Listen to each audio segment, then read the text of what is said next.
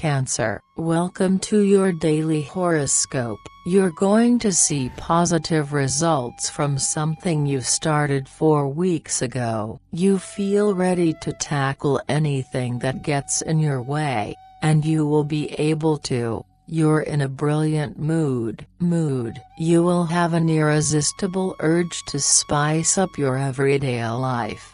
But don't push too hard, love. The climate is uneven. Those of you born in the second decan would do well to let the storm pass by. Those born in the other two decans will see a profound lull in their love life. Money. You're preparing to go all out and fight to strengthen your financial position. Advice would be welcome work. Don't be deceived or slowed down by people who make out that they're more skilled than you. Have a nice day Cancer, see you tomorrow.